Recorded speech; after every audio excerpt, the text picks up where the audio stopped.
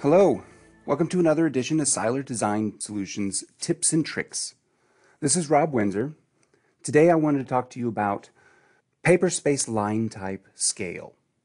Typically when you're working in uh, model space, you set your line type scale and, and you do that just with the LT scale command. And right here I've got it set for 0.5 and honestly I like the way it looks so let's keep it that way. Now depending on the size of your drawing when you go over to paper space, you put in your viewports you zoom in you zoom out. Now these lines can look drastically different. Like here my center lines well you sort of look like center lines but then hidden lines you can't even tell what's what. How do I fix that?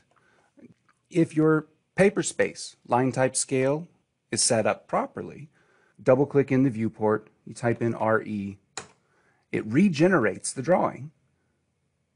But well, unfortunately, it didn't do it for me. Well, let's take a look at PS LT scale. So that's paper space, line type scale.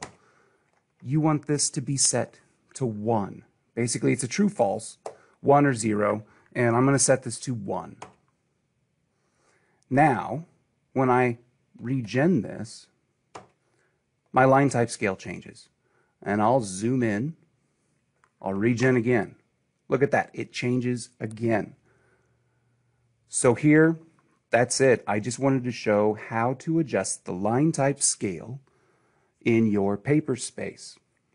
Thank you very much for your time, and you have a great day.